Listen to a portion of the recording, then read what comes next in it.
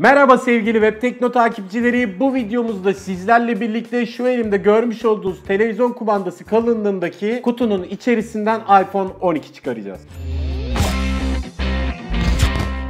Şimdi arkadaşlar direkt tepe çekime gideceğiz ama gitmeden önce şu tarz detaylardan bahsetmem lazım. Öncelikle bu telefonun biz açmasına katkı sağlayan İzmir Tarhan GSM'e buradan teşekkürlerimizi iletelim ve devam edelim. Arkadaşlar ilk yapacağımız şey tabii ki de tepe açıya geçip şu incecik kutuyu açmak. Yani ciddi söylüyorum ilk hissiyat olarak Xiaomi Mi Band 5'e benziyor kutusu. Şimdi telefon burada arkadaşlar. İlk olarak söylemek istediğim şey benim de bayağı şaşırdığım şey şu gördüğünüz kalınlık arkadaşlar. Kutunun içerisinde hiçbir şey olmadığı için telefon hariç iki parmaklık benim tombul parmaklarla bir kalınlık olduğunu söyleyebilirim. Pakette değişen bir şey yok bildiğiniz paket. Bu arada bu model 12 Pro zaten söylemiştim.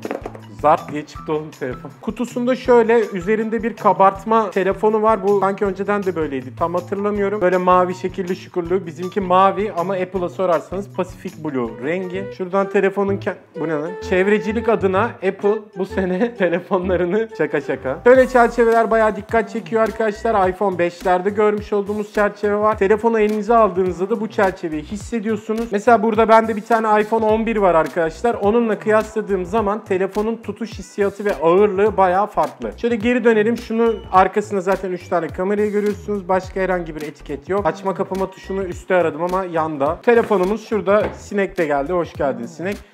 Normal benim bu zamana kadar gördüklerimden daha kalın bir kablo olduğunu söyleyebilirim. Lightning bir adet kablo çıkıyor arkadaşlar. Bunu işte şuraya takıyorsunuz. Gönül isterdi ki bir şeyler daha çıksın ama Apple yine çevreci olduğu için sizi düşünmüş ve küçücük bir çevrecilikten ötürü küçücük bir kartonun içerisine çevrecilikten notlar koymuşlar. Mesela çevreci bir adet çıkartma, çevreci bir hat sökme aparatı ama bu bir ya bayağı çevreci bu. Bakın şu an içeriye oksijen saçıyor şu nimet. Çeşitli çevreci broşürler görüyoruz yapıyoruz. Gelelim artık telefonumuzun kendisine. Şimdi ben şunun kurulumunu yapayım hemen geliyorum arkadaşlar. Şimdi kurulumu tamamladık arkadaşlar. Yani ilk açılan ekranda değişen pek bir şey yok. Araç takımları falan filan. Zaten bunlar iOS 14 ile birlikte gelmişti. Şunu bir kaldıralım. Dediğim gibi en farklı durum telefonun çerçevesi olması. Şuradan bir ayarlarına girelim. iOS 14.1 iPhone 12 Pro modelimiz bizim elimizdeki. Yine bizim elimizdeki modelin kapasitesi 128 GB arkadaşlar. Hani üzerinde de 7 tane uygulama kurulmuş bir bilgi olarak şöyle bir hemen bir kamerasına bakmak istiyorum. Bir tane fotoğraf çekeyim. Bir tane de portre çekeyim. Bir tane de bizim Umut'u çekeyim. İlk fotoğraflarımızı çektik arkadaşlar. Arka kameranın portresi yani şu anda ortamda ışık bir tık düşük olmasına rağmen çok kötü görünmüyor. Fakat tabii ki de bu tarz detayları en iyi detaylı incelemede öğreneceğiz. Bir önceki fotoğraf da yine Umut'u çektiğim arka kameraydı arkadaşlar. Şöyle göstereyim. Bir önceki baktığımız portreydi. Bu portre değil. Yani portre olana göre birazcık daha başarısız. Şu arkadaşlar benim az önce önce çektiğim TikTok selfisi. E, acılar içerisinde bakıyorum dünyaya. Ortamda ışık düşük olmasına rağmen arkadaşlar detaylarda böyle çok sıkıntılı bir durum görünmüyor. Şimdilik şu da normal fotoğraf, portre olmayan. Bir önceki nesil iPhone 11 ile şöyle ikisinin kamerasını yan yana açayım. Bu da her ikisiyle çektiğim ayrıca fotoğraflar. Bunları muhtemelen zaten ekranda görüyorsunuzdur. Şu da 11 Pro ile